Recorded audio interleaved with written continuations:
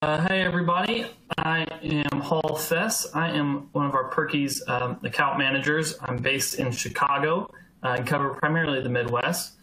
Uh, I hope everyone is safe and healthy and doing well today. I appreciate y'all making some time to join us um, to talk about solar. We're excited about this uh, webinar. I know there's a lot of information out there around solar. Um, so we're, our goal here today is to um, really clarify things and uh, break them down, discussing some key questions and some common myths around solar. Um, I apologize in advance if there is a little bit of background noise. We're working uh, from from home as everyone else is, so trying to keep that to a minimum. Um, but uh, bear with me if that does happen just a little bit. Um, my microphone was a little glitchy earlier too. So, um, all right. So the scope for today. First, we're going to kind of we're going to cover just high level very quickly. Why solar? Um, what applications primarily is it used for? Um, and what makes it a great charging uh, um, source? Then we're going to go through some key questions. We're going to look at some technologies out in the field that you'll see primarily, uh, different controllers, different types of panels, and then go through uh, how to calculate how much power you need and go through an example of what that would look like. And throughout all of this, we'll be addressing some myths that you see, and then we'll close out with three of the most common myths um, that we hear while out in the field or, or common uh, misconceptions that people ask us um, about solar while we're out in the field. So to start us off, um, Paul Weberson is on our service team and is going to kick things off talking about uh, why solar is a great uh, charging source. Well, hey everybody! I'm just glad that you guys could be here with us today about uh, some topics on solar. The first question is why solar? It's a simple one, but it's a legitimate one.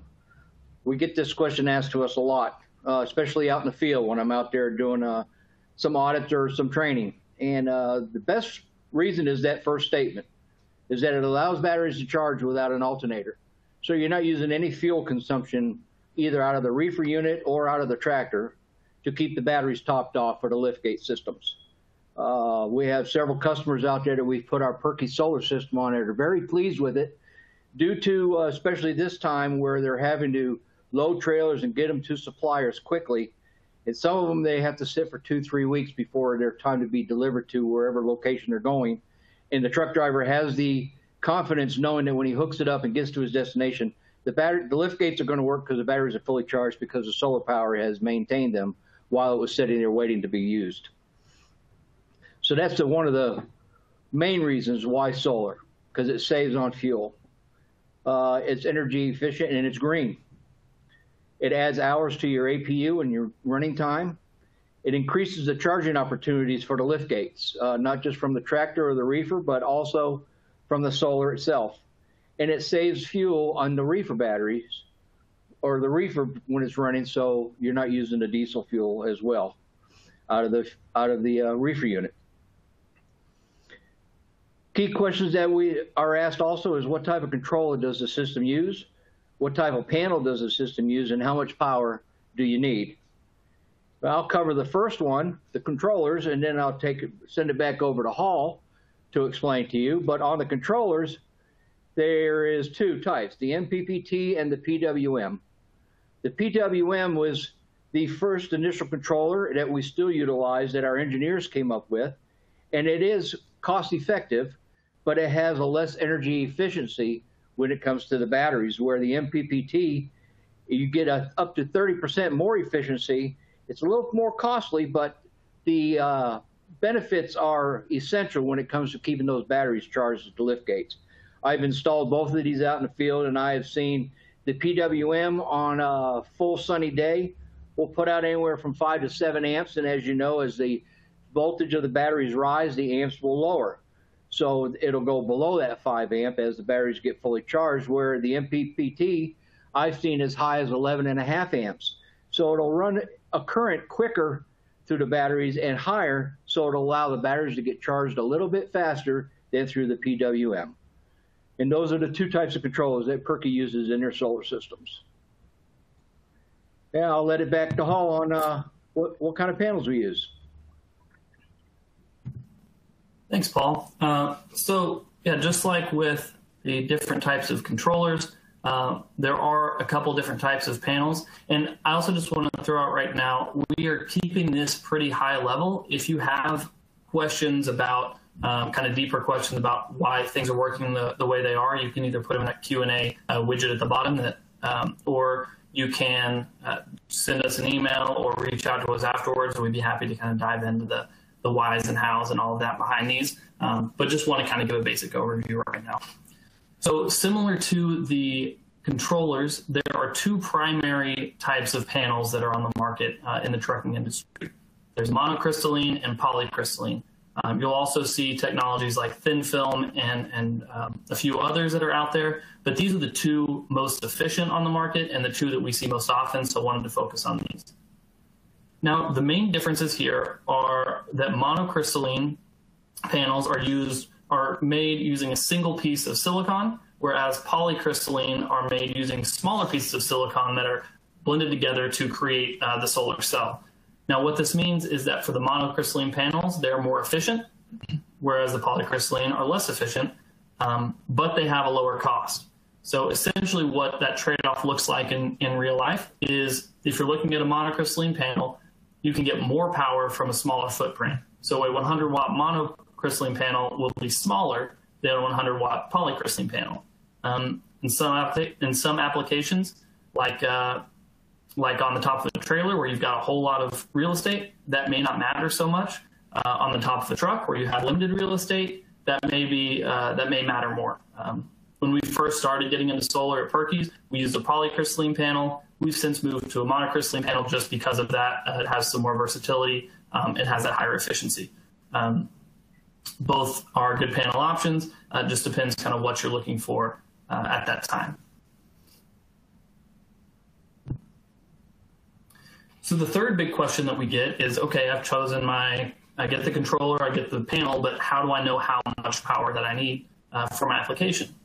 So the difficult part on this is that depending on your application, whether it's a liftgate application, an APU application, reefer, whatever it might be, um, the amount of power that you need is going to change, but the general idea of how to calculate that is going to stay constant. Um, so the way you calculate that is first you want to look at the average amps that are being drawn from that load. So if it's a liftgate, um, as we'll see in an example we're going to show next, you can kind of get an average idea of how much power it takes to run a lift gate um, and how long that takes. If you're in a truck, it's a little more difficult because uh, drivers will plug in all kinds of things. So it's hard to get an exact amount uh, of power that's being drawn.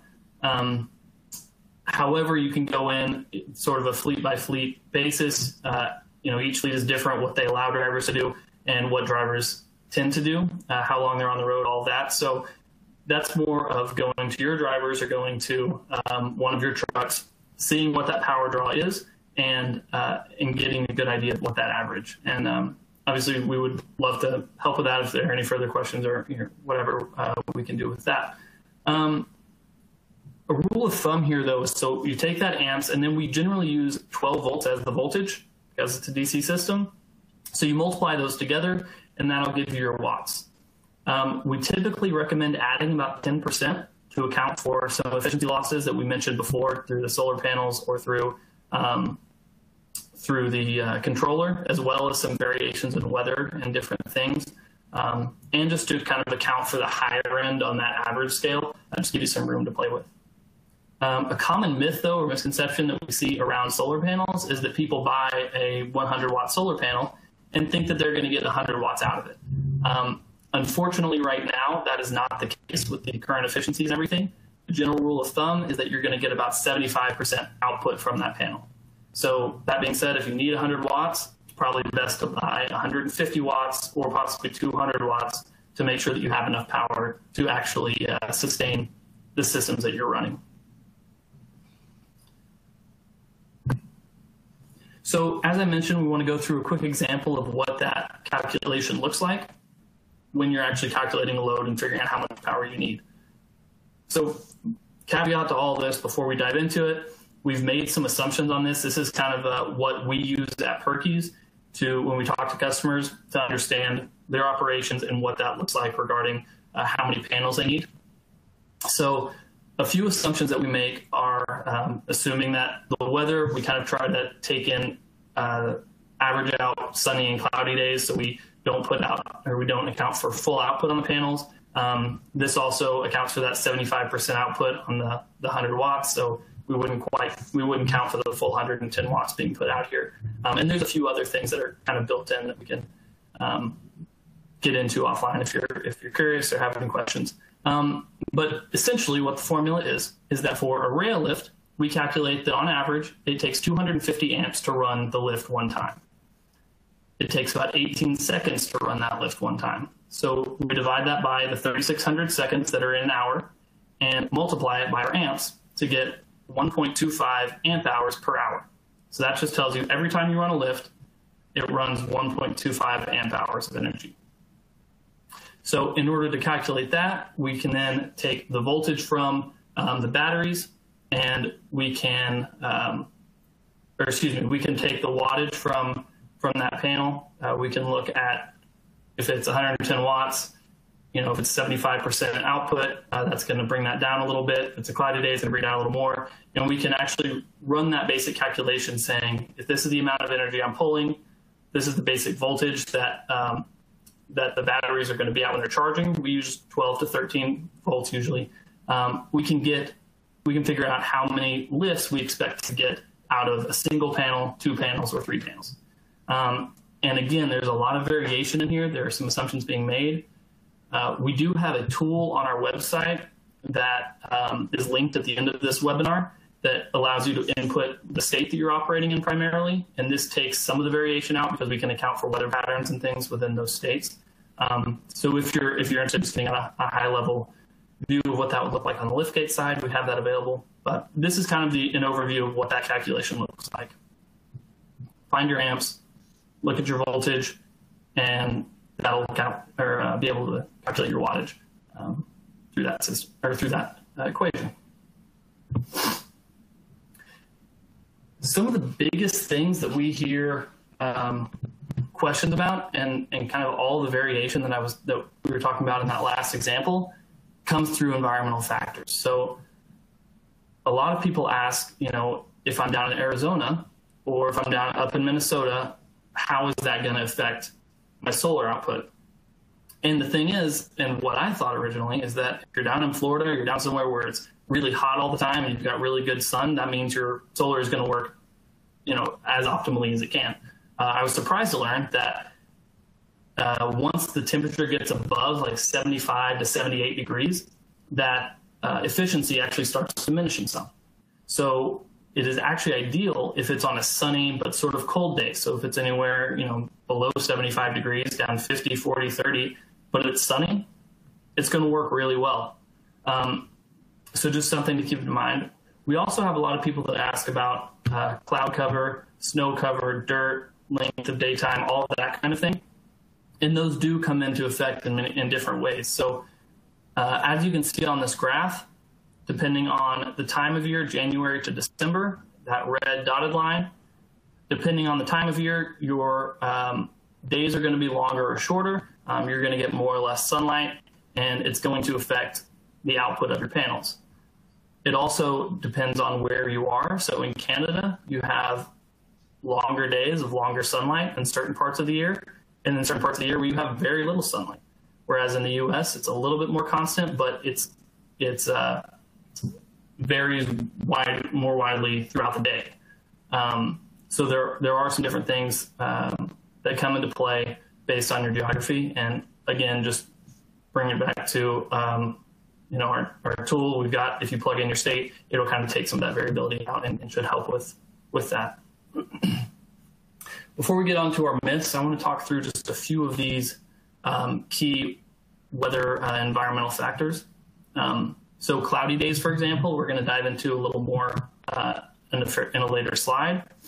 But um, a lot of people ask if uh, if cloudy days will affect your solar, and the answer is yes. Um, generally, it will diminish uh, the power coming in.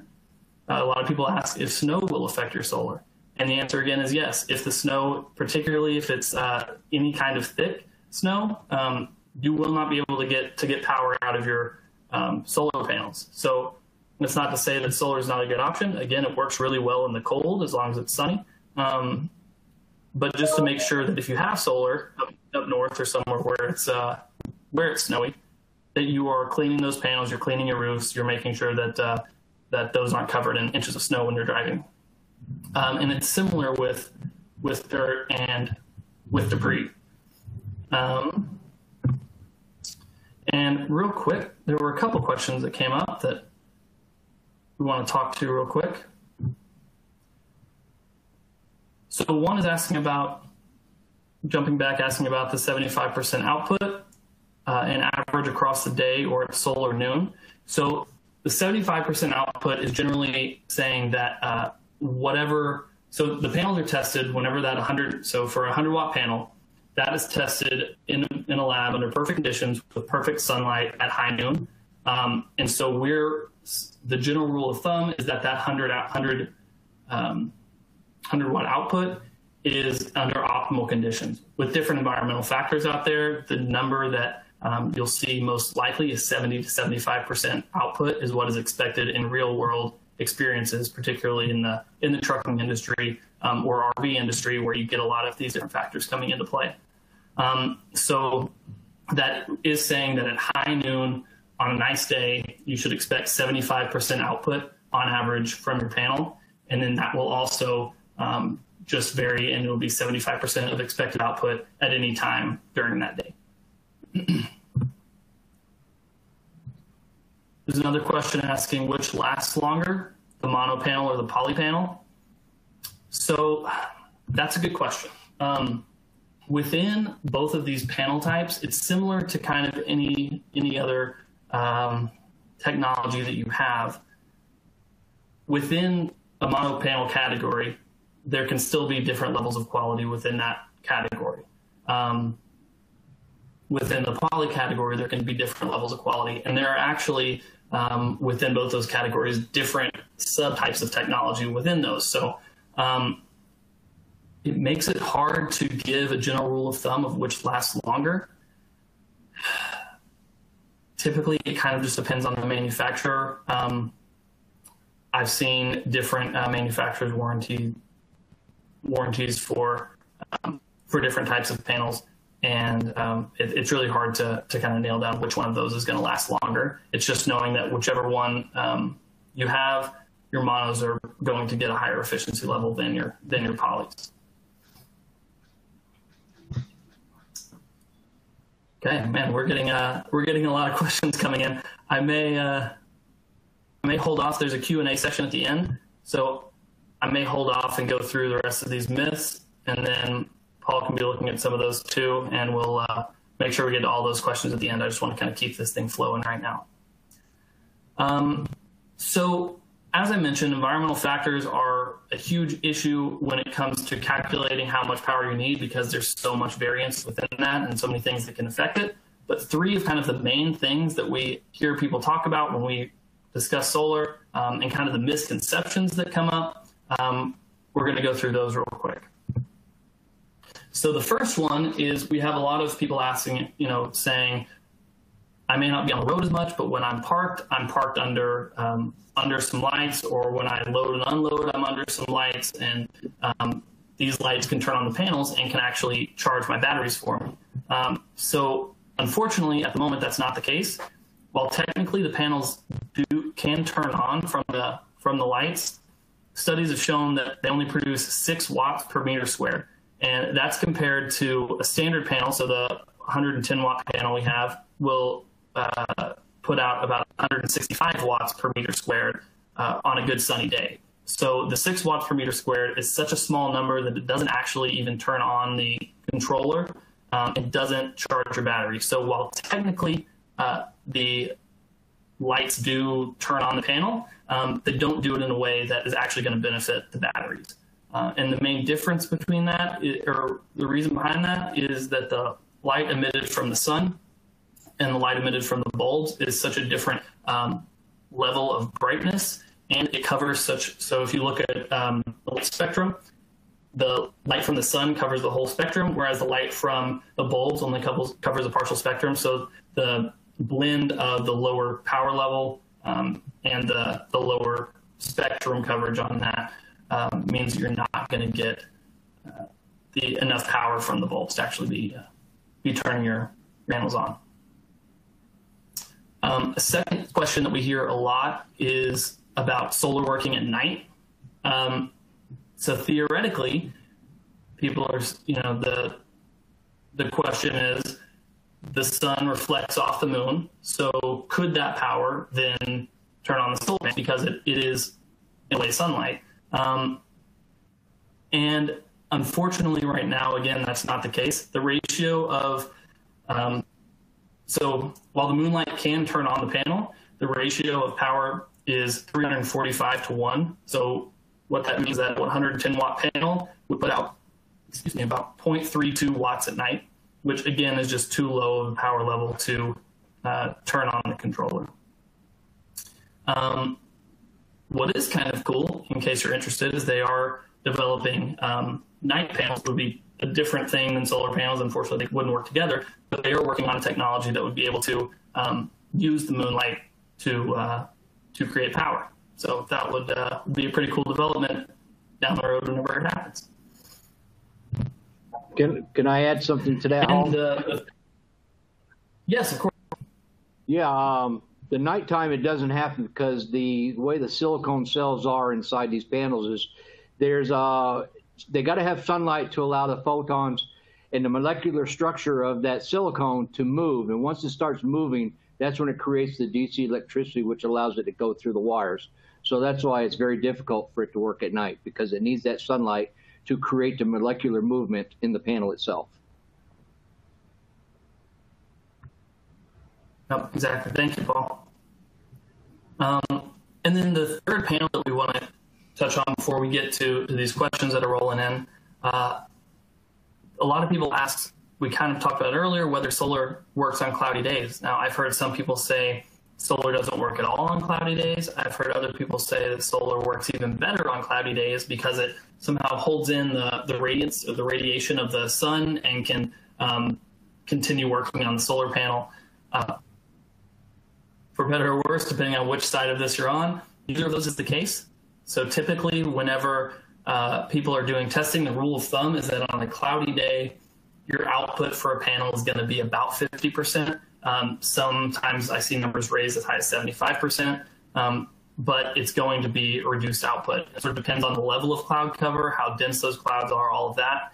Um, but that to say, solar will work on a cloudy day. It just will be diminished output, um, won't get the full output you're working on. So uh, again, going back to our liftgate example, that is one thing that makes it difficult is where we have to account for the efficiency of the panel, the efficiency of the controller, kind of take a range of cloudy days versus sunny days, depending on the geography, and you can figure out um, kind of how much you need. Um, so just based on some assumptions, which uh, are always difficult to work with, but um, it's, it's not uh, undoable, just makes it something to think through um, as you're making these calculations. So real quick before we get to the Q&A, just something to keep in mind. These are all on your resource panel at the bottom. So if we've talked about something that uh, you would like to dig in more to, our sister company, Xantrex, has made two videos, one about how much solar you need, so it kind of goes deeper into how to make that calculation, um, and one on the MPPT versus PWM. So if you want to learn a little more about those two technologies, uh, there's a really great video on those as well. We also have our SolarBolt data sheet, so you can look at our panel and kind of get an idea of what it looks like to look at a, at a panel spec sheet um, and, uh, and ask us any questions if you've got any about what does these numbers mean, how does this affect charging, that sort of thing. And then we also have uh, our solar calculator, so if you'd like to get an idea um, of what kind of power you need, that's also linked in the resources page. Um, so we're going to go into the Q&A session right now and try to answer some of these questions that have come through. Really appreciate all the everyone who's been asking questions. Um, and also, I've just been reminded for any of you, uh, uh, if everyone could stick around right after this presentation, there is going to be a, uh, a little survey just to see if there are any other questions or anything else we should cover. Okay, so I answered that one. Sorry.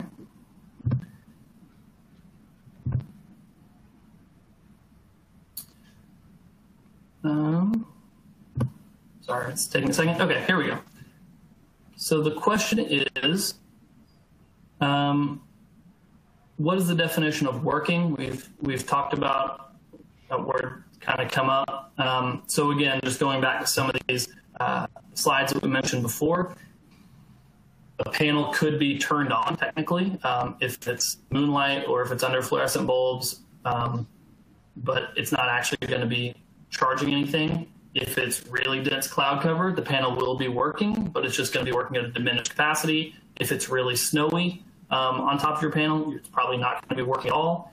Um, so just something that uh, that we want to keep in mind whenever you're talking about a panel working. What does that really mean, um, and under what conditions are, are we talking about? Um, there, everything is tested, and that rated output is tested on imperfect lab conditions with perfect sunlight. So anything that's going to be below that uh, is going to diminish that output. So we're getting a lot of questions, or a couple of questions about um, why warmer temperatures affect performance. And I'm sorry, things are lagging again. Um, okay. Warmer temperatures affect performance, and the reason is that um, essentially, just like with kind of any technology, as things get really hot, they just it doesn't work as well. So you see the same thing if you go into like a server room for computers you want to keep it cold if your computer starts overheating, if your phone starts overheating. Um, just as everything gets very hot, um, things start. Uh, any kind of technology is just going to work less efficient, less efficiently.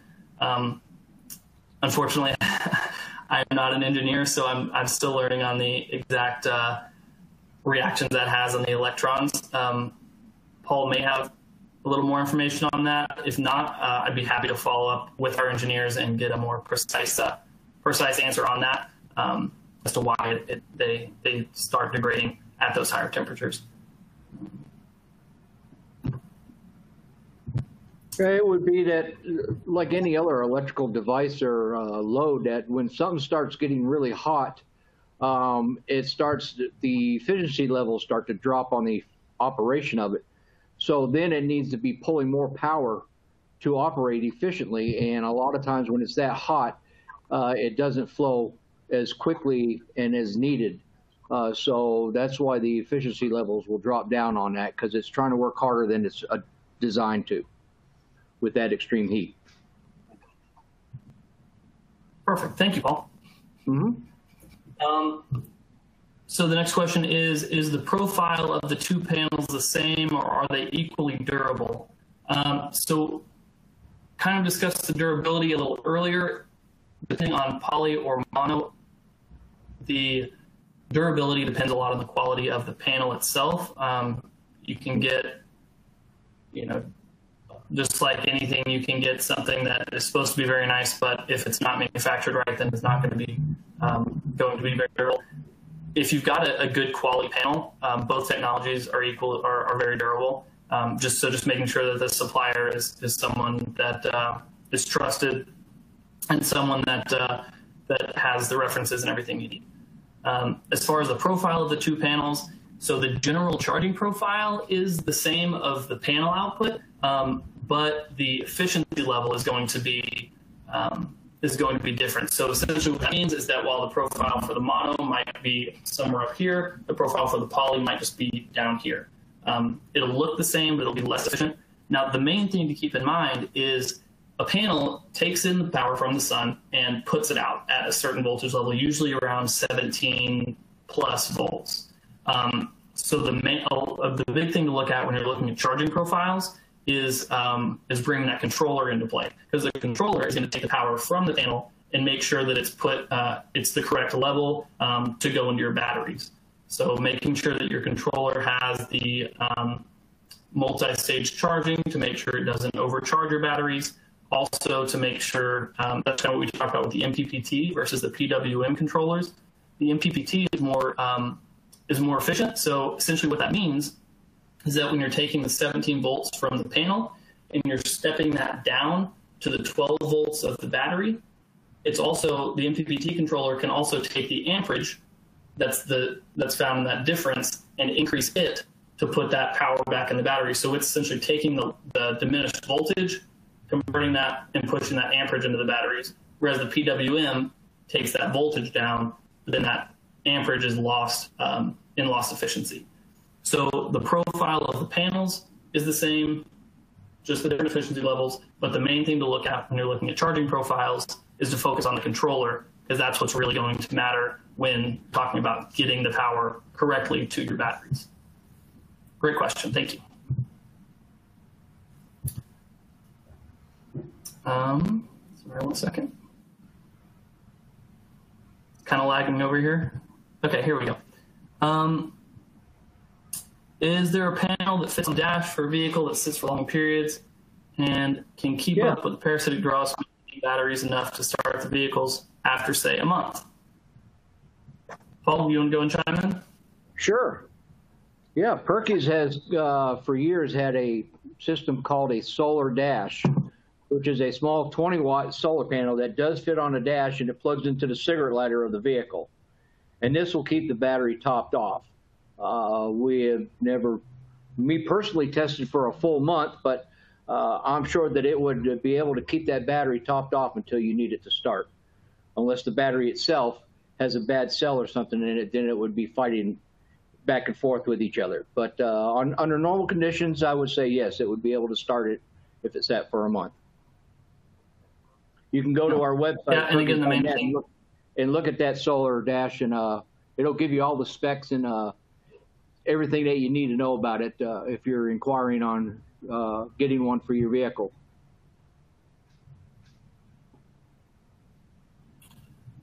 Great, thank you, Paul. Um, we have another question. Will driving at reduced speed through a snowstorm keep the panels clean? Should one stop periodically to clean them? That's a great question. Um, yeah. So the sorry, were you trying to chime in? Yeah, um, I was going to say. Um, so if you're driving through, go Yeah, if you're uh, driving through a snowstorm and trying to keep reduced speed to keep the panels clean, uh, it depends on what type of snow it is. For one, if you've got a uh, powdery snow, uh, it's going to slide right off the roof of the trailer. But if you've got a very wet snow, and uh, then it starts getting colder temperatures wherever you're traveling, uh, that wet snow could start to freeze, and then it would build up on top of the panels.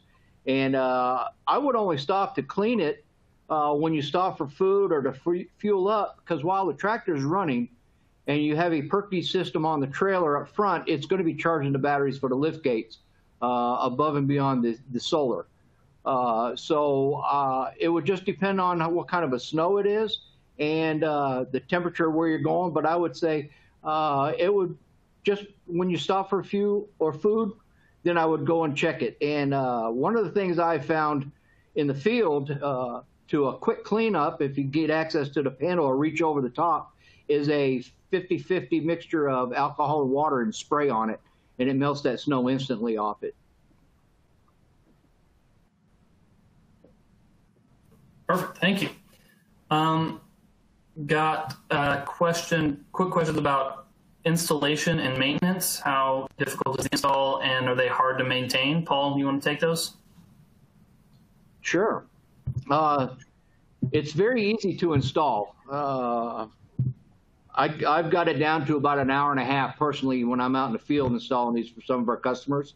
But the first few that I did, it took me two hours. So it's it's a very easy install uh, from start to finish. The, the biggest key is the prep work, making sure the roof area or the hood area, wherever you're putting the solar panels, is clean and free of debris. Uh, and we use a uh, an MEK or an alcohol compound that spray on there and wipe it down, and I'll do that three times uh, before I even consider putting the panels down. And then just follow the instructions that's in our guide because it's all step by step. And uh, we've uh, we've tested it out many many times and have not had any issues. So and to maintain the solar, it's just a matter of uh, getting up there and like I said in the wintertime with the snow, a 50-50 mixture of alcohol and water in a spray bottle. Uh, other than that, I have taken an actual dust mop with a clean damp rag on it and just wiped over the panels to clean them off, and uh, they'll be they're ready to go. Perfect. Thank you. Mm-hmm. So, uh, got a question. How do you calculate the number of batteries needed before adding solar? Um, so, a lot of that goes into that overall calculation. There's not necessarily a set amount, a set number of batteries you need. It's more looking at the overall amps being drawn from your system. So, um, for example, we have customers on the reefer side who um, they've just got a single battery, but they're only putting maybe a GPS or something on there that pulls a very small amount of amperage.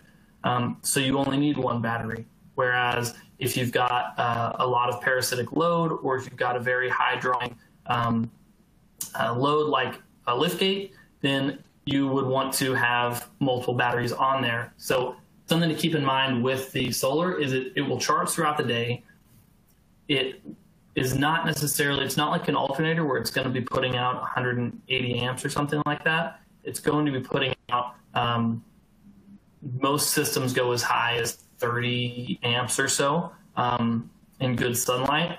So it's more keeping looking at the output you're actually getting from the solar and the amount of power you're pulling from the uh, from the load uh, from the batteries, and then kind of backing into okay, if my solar is putting in this much, my battery or my load is pulling out this much. What's kind of that difference? Uh, how much power do I need in reserve through those batteries in order to ensure that I have enough power to run my uh, run my load for the length of time I need to run it? Um, so I, I hope that answered the question. Um, sorry, it takes a second to switch between uh, questions here. Um, okay, can solar charge uh, electric pallet jacks, and what will be required to do so? That's that's a great question. We get a lot of people asking about some pallet jacks. Um, so Unfortunately, solar cannot directly charge pallet jacks just because um, it is a very inconsistent power source, and getting that conversion to the 24 volts needed consistently for the pallet jacks is not. It, might be able to be done sporadically, but it's not going to be anything consistent. So, generally, what we recommend is to have the pallet jack, a charging system for the pallet jack. This is how our system, for example, is set up, our tap system. Um, we have the pallet jack connected to the liftgate batteries or some auxiliary battery, and then we have solar um, that's charging that battery. So it's not necessarily charging the pallet jack directly, but it's able to keep that battery so the pallet jack can then have consistent power from that battery. Um, and then it's just sort of looking at how long your run times are going to be and how much power your pallet jack charger is pulling. Um, and that can kind of give you an idea of how many batteries you need and um, and how much solar you need. A lot of times you see people pulling off of the liftgate batteries, um, which is okay in certain situations. It's just something to be careful of because you're also running the liftgate obviously off those batteries. So sometimes that drain can be too much. Um, so there just is that calculation to understand uh, how much power is being pulled from. Again, how much power we need to put back in to make sure that you're appropriately compensating for the power draw and the, the power loss there.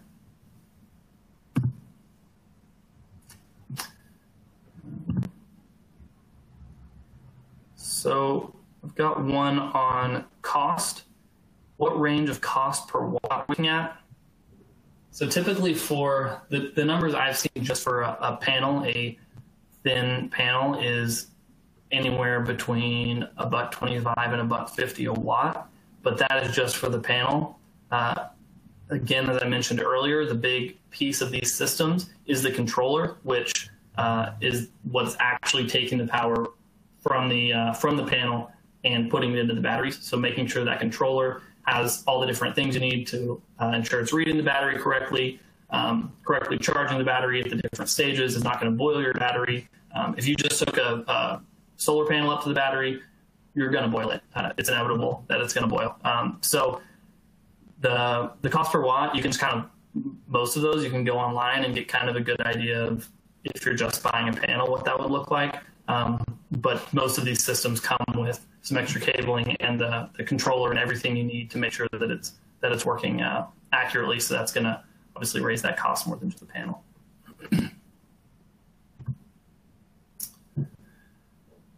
um,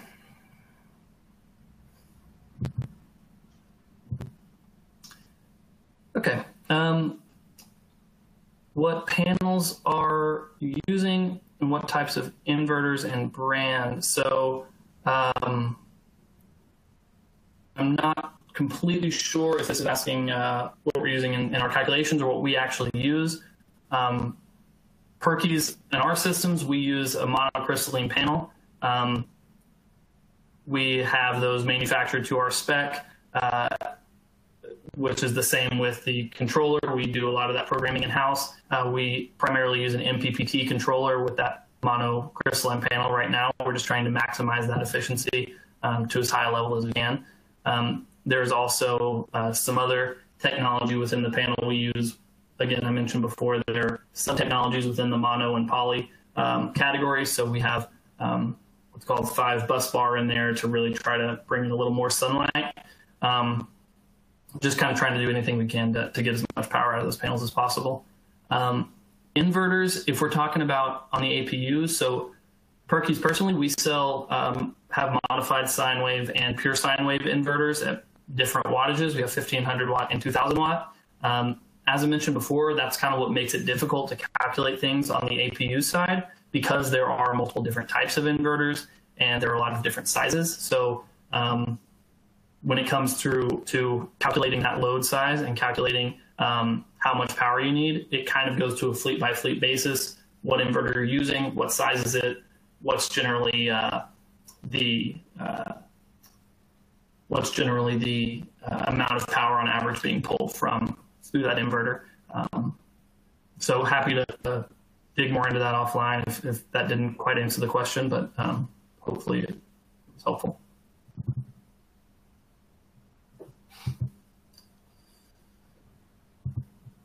this is great. We've got all kinds of questions here. Uh, um, okay. What is the life expectancy of a solar panel charging system under normal conditions? Five years, 10 years? Um, so, normal conditions, that's a good question. so, on the liquid side, uh, normal conditions means that it's under the under the um, the truck and the battery box. It's pretty well protected. I know our system, for example, has a three-year warranty on every on all the components of the system. That being said, we generally uh, expect this to last longer. Um, we build it with the same robustness as our liftgate charging system, which we've seen on trucks 5, 10, 15 years down the road.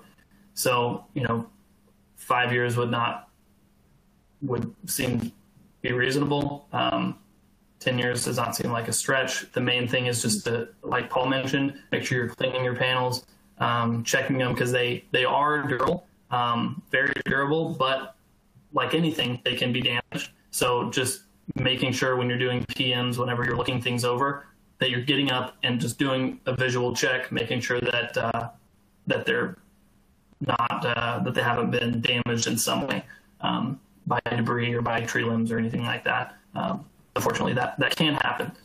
So um, yeah, I hope, I hope that was helpful.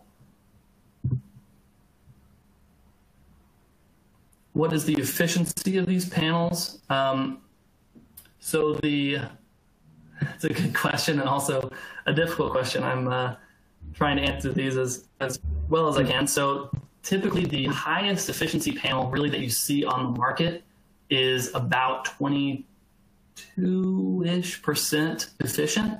Um, but again, that is efficiency of just the panel, not counting the uh, kind of efficiency drop of the controller and it's also efficiency in a lab setting. So those panels, like the, the efficiency numbers that you'll see online or, or on spec sheets, um, those are you know as good as efficiency numbers as we can get, but they are in a lab setting. So typically, um, poly panels the range is about 13 to 16 percent, and mono panels range is about 15 to 20 percent, and that feels like a better uh, real world range than some of the ranges on spec sheets, which are more in the 22, um, 23% range. Um, again, a lot of those are just in the in the lab settings and, and don't necessarily hold under real world conditions.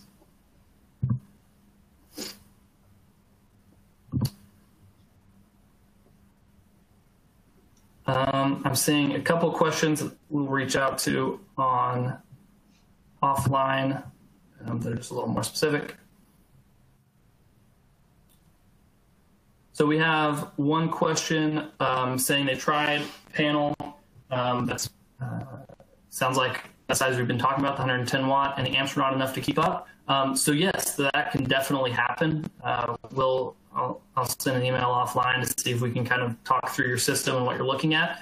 But um, as I mentioned, there are a lot of different things that come into play here.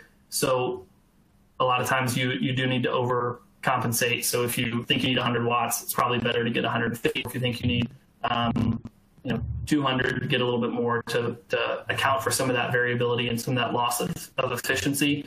That's just unfortunately um, going to happen.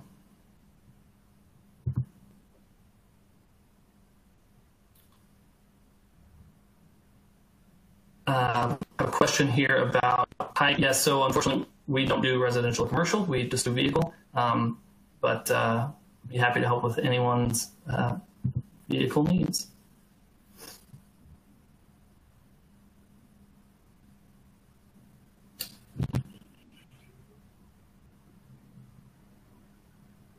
So it says, can a roof setup be used to run AGM tractor batteries for an APU?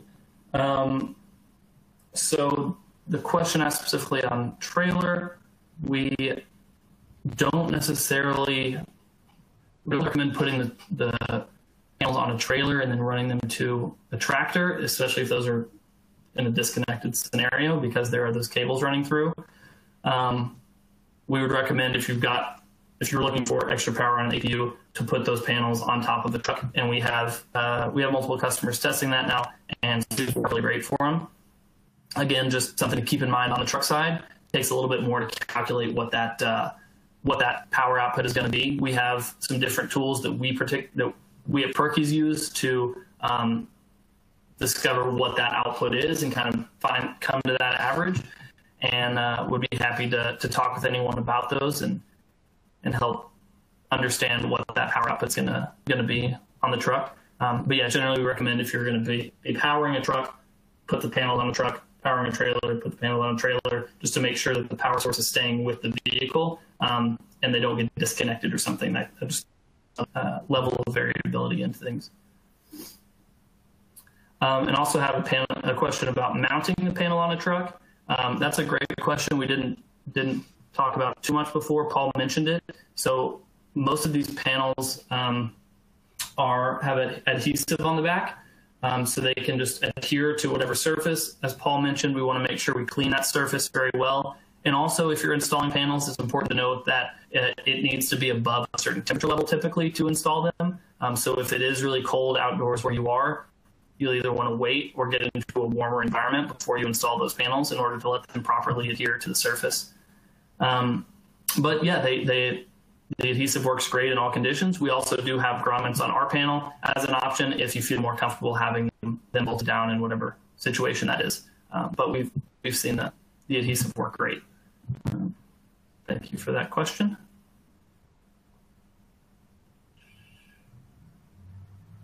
Let's see. So we have a question here. Should you put the panels at the front or the back of the trailer? Paul, uh, maybe you can jump in on that. You've got some experience, in the, more experience in the field installing these. Yes. Uh, yes it, basically, uh, it basically depends basically, on the customer's needs and how they depends want. on the customer's needs and how they want. Trailer it is. I'd say probably 80% of the ones I have installed out in the field for the customers that we have put on the back of the trailer. And the reason being is uh, there's a lot of it is north country, so you get the snow brushes that they go through, uh, which takes it off the back. And the way the wiring is, it's going backwards. So as the truck is running down the interstate, whether it's in dry weather or wet weather, the cables are in flow with the motion of airflow going across the top of that trailer instead of against it.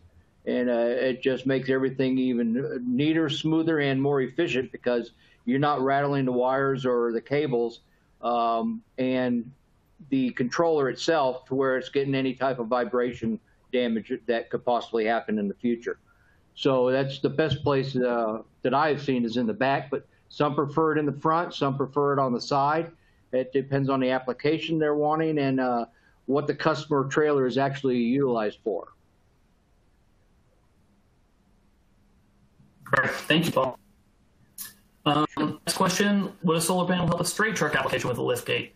Um, yes, so this, this is actually a great application for solar. A lot of those straight trucks do not have auxiliary batteries.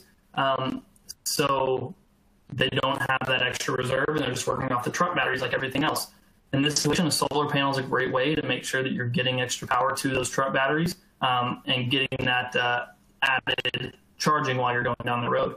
Um, one thing to keep in mind as you look at different uh, solar controllers, there are some, um, so ours in particular has been programmed um, with uh, patented technology to make sure that our system is still running alongside the alternator and is going in first to, to get that extra power to the batteries. Um, there are some controllers that if the alternator is on, it will put the chart the solar charger on standby um, and won't actually be engaged. So that is just something to to keep in mind when you're looking at different controller options um, to make sure if you're counting on this charging your truck uh, your batteries while you're driving to make sure that it's actually going to do that um, while you're going. But yeah, so thanks for that question. Straight truck application, um, great opportunity for solar.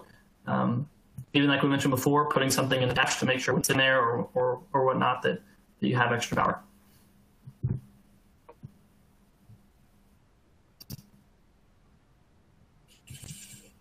We've just got a few more questions here.